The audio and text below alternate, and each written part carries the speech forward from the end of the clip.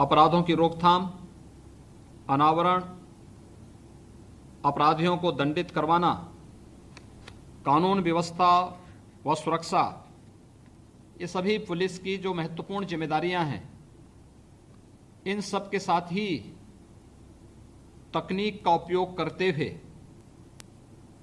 हम बदलते हुए अपराध के तौर तरीकों पर भी प्रभावी अंकुश लगा सकते हैं।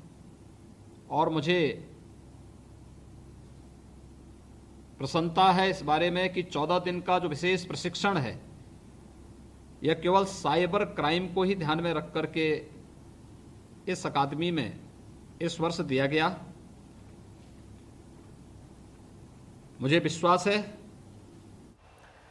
तो देव, मुख्यमंत्री योगी आदित्यनाथ को आप देख रहे थे, लेकिन हमारे संवाददाता लगातार हाथरस पर बने हुए हैं। छोटे से ब्रेक के लिए हम यहाँ रुक रहे हैं। फ़ौरन लौटेंगे, देखते रहिए आज तक।